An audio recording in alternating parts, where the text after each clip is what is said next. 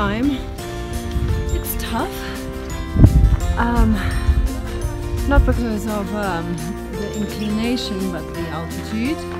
And it's getting quite windy here.